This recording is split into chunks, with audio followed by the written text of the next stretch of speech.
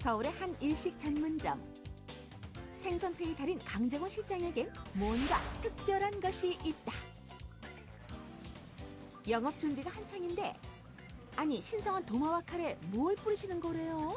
일식집은 청결이 생명 아닙니까? 녹차가 살균력이 끝내줍니다. 녹차가 살균을 한다고요? 본격적으로 회뜨기에 들어가시나 싶더니 갑자기 얼음물에 가른 녹차를 듬뿍 뿌리고 아이스 녹차를 준비하는데 어머나 횟감도 녹차물에 담그시네요 무슨 특별한 이유라도 있나요?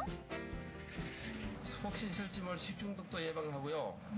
맛도 담백해지고 육질도 좋아지고 그래서 그래서 저희들은 녹차에다가 이렇게 녹차를 이용합니다. 녹차 하나면 날씨가 더워도 회의 신선함이 오래 간다고. 그뿐이 아니다.